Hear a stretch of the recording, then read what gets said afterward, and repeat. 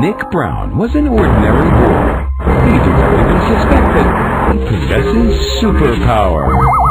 Once, he was abducted by aliens.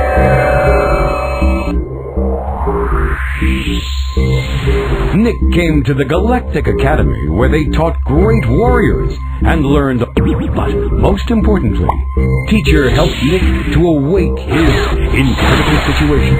Nick can rewind time with his thought and change the event. Because of that, he received the name.